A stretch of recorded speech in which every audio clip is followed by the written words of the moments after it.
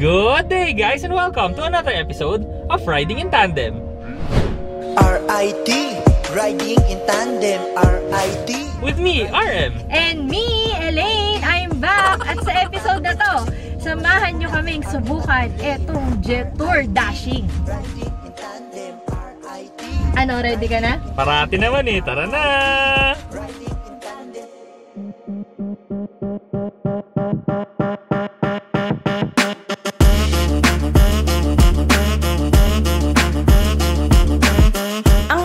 Nito ay 1.5 liter turbocharged gasoline engine. May maximum power ito na 156 PS at may maximum torque naman na 230 Nm at 1,750 to 4,000 RPM. Ang transmission nito ay 6-speed wet DCT. Visit our website, rit-ridingintandem.com para sa mga articles, price list, at loan calculator para malaman mo ang down payment at monthly amortization ng sasakyan na gusto mo.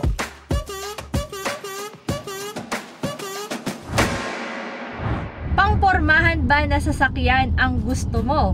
Eto, sangkatutak na titig ang makukuha mo. Sobra-sobra talaga actually. Kahit saan kami pumunta talagang pinagkakaguluhan ng tingin ang sasakyan na to. Oo, naglalakad, nagbabike, nakatambay, kahit yung nagdadrive.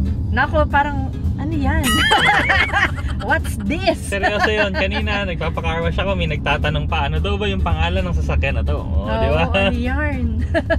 So, ganun siya ka, ano eh, no? Ganun siya ka-attractive kasi sobrang unique ng itsura niya. Kakaiba sa kalsada, tsaka talagang kala mo sobrang mamahalin ng itsura. pero affordable pala. Sa unahan, yung daytime running lights niya at saka hood, parang 10 times na yung presyo, pero hindi.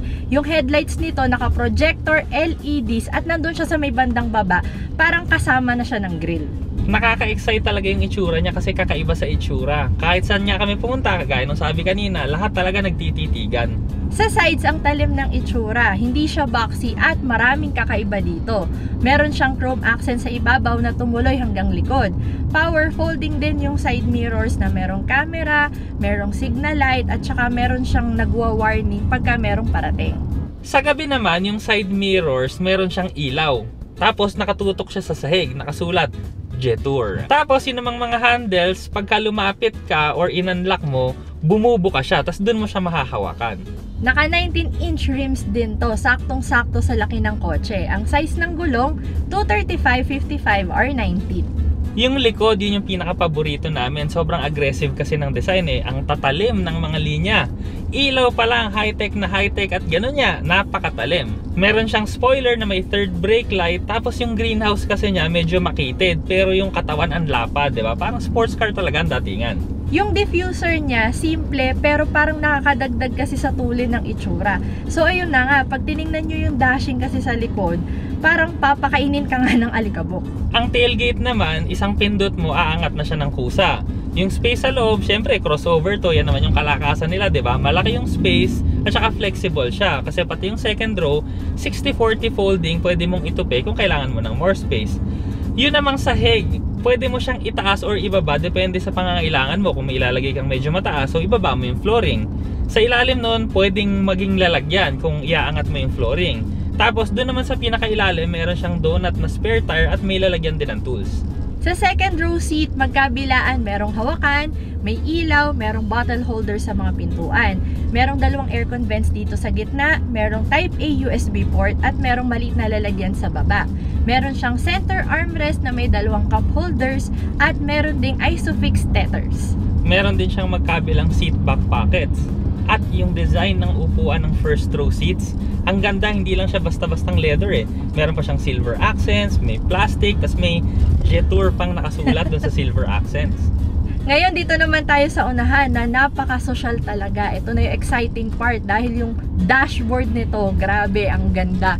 Meron siyang mga silver accents, may ambient lighting, meron siyang off-white na leather na alam kong dumihin pero ang ganda tignan. Tapos meron din siya mga piano black finish, magkakahalo siya. Ang ganda lang sa mata. Sabay mo na dyan yung upuan. Kasi ganun din yung kulay niya eh. Yung meron ding silver accents, meron ding off-white na leather, meron din siyang gray na leather. So napakaganda talaga sa mata. Parang pagtingin mo, wow, ang sarap matulog.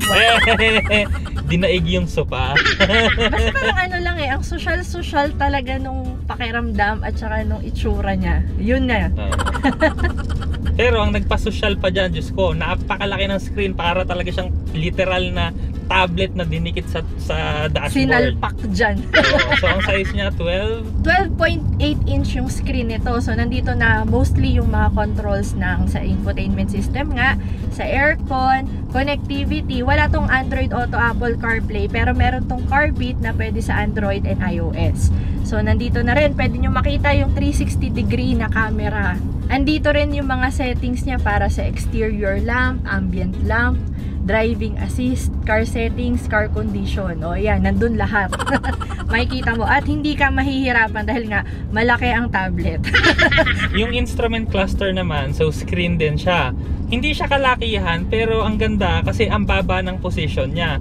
Tapos saktong-sakto dito sa butas ng manibela. So kitang-kita mo talaga na parang yan, dyan talaga siya. Mababa kasi yung placement, so yung buong dashboard mo flat lang. So walang nakaumbok sa ibabaw kaya kitang-kita mo lahat. Ang manibela rin, kagaya rin ng upuan at mga sidings, no, meron din siyang off-white, meron din siyang piano black finish, meron din siyang gray na leather, tsaka may mga controls din siya dito sa kaliwat kanan. So, itong controls kasi minsan nag-iiba-iba ng function, no? Actually, ito yung medyo nalito ko nung umpisa pero dito rin yung adjustment ng salamin, ng side view. So, itong kaliwa at saka kanan, kaso may gagawin ka muna dito na ituturo ko sa inyo mamaya sa test drive na lang.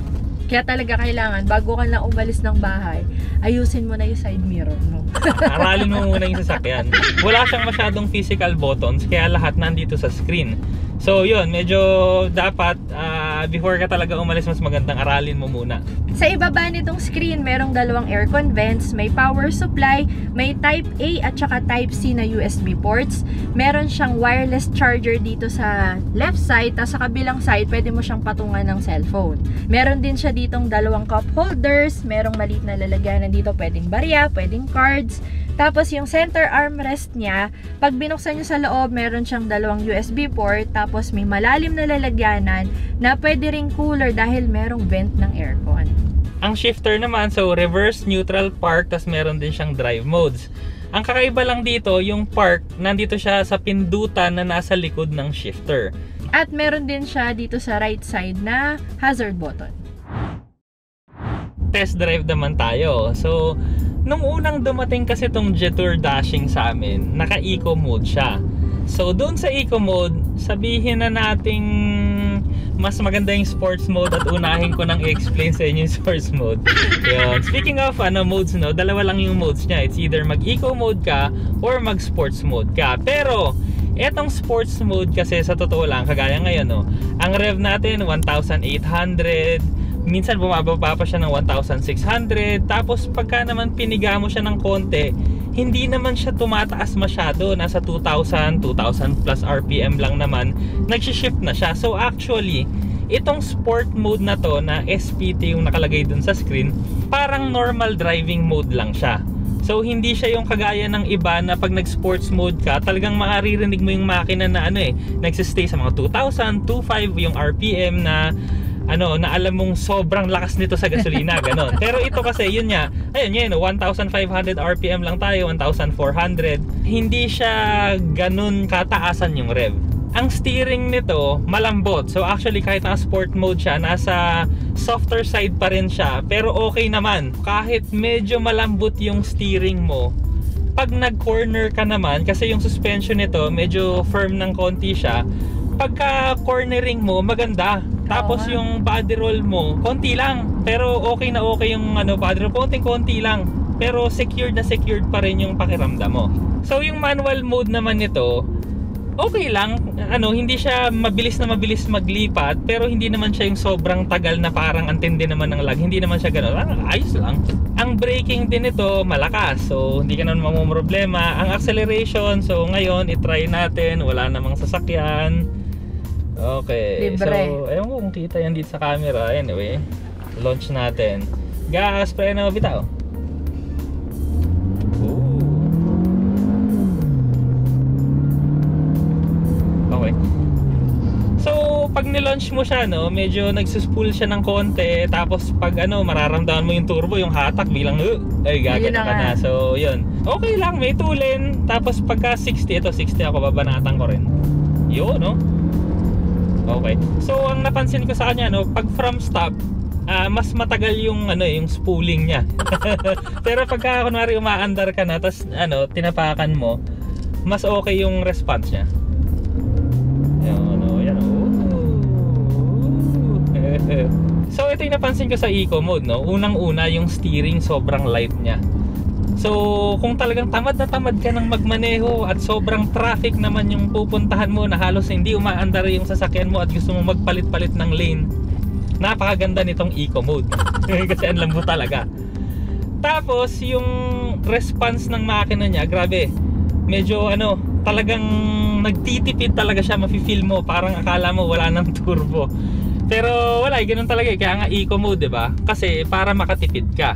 Kung ako talaga dito sa eco mode, no, ah, baka hindi ko na 'to gagamitin kasi okay na ako sa sport mode. At saka dito kasi sa amin, hindi masyadong traffic. Oo, kaya dire-diretsong mabilisan. oh, kung magka-traffic, masaglit lang. Oo. Doon lang sa may mga stoplight, ganun lang. Pero yun nga, kung gusto mo magtipid ng gasolina, edi eco mo. Pero ako, ayoko magtipid ngayon. Kaya ilagay na natin sa sports ulit. Yung radyo nito, pagka nakakonect ka via Bluetooth, okay lang. Wala siyang masyadong bass. Meron din tong panoramic sunroof, pero hindi na namin bubuksan kasi baka masilaw kayo. Oo, kasi matindi talaga yung araw ngayon, no? Oo. Kaya yan talagang masasabi ko sa inyo eh. Pagka kunwari mayroon kayong mga sunroof or tirik na tirik yung araw, ang pinakamaganda talaga, no? Mag Ceramax Nano Ceramic Films kayo.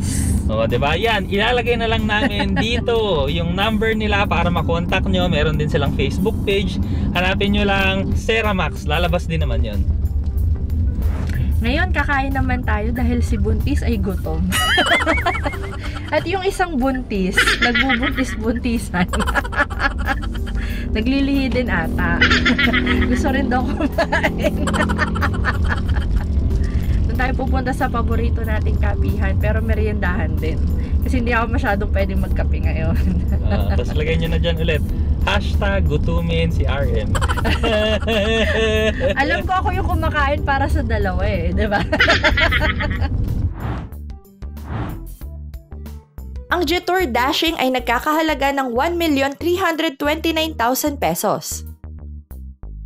Ito naman ang safety and security features.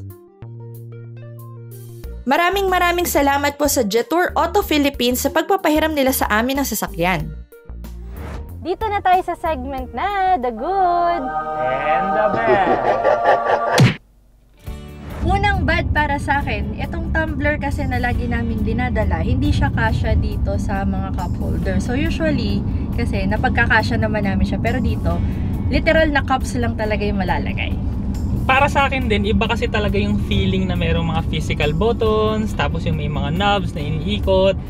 Ah, mas mabilis siya, tsaka kahit, kumbaga, kahit nagda-drive ka, tapos hinaan mo yung aircon, magagawa mo. Dito kasi parang ang hirap niyang gawin habang nagda-drive ka kasi hahanapin mo pa yung aircon, ganyan. Titignan mo pa kasi. Titignan mo pa, oo. Pag may control, kakapain mo na lang. Oo. Or di, kung alam mo na kung nasan kasi automatic na yung kamay mo, gaganon. O, di ba? Alam mo na agad.